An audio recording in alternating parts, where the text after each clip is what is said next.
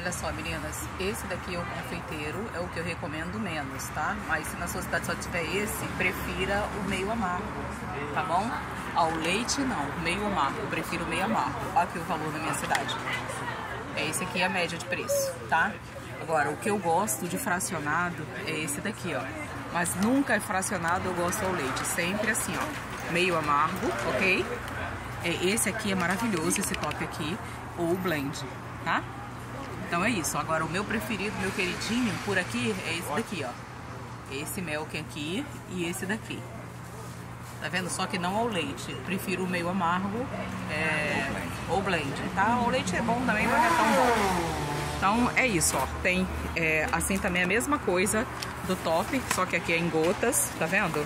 Então agora tem com avelã, tem, enfim, tem uma variedade aqui, ó. Esse daqui é pra colocar em panetone, cookies, entendeu? Que é forneável, tá? É diferente desse, tá, gente? Vai fazer alguma coisa pro Natal, ó. Esse aqui, ó, forneável, tá?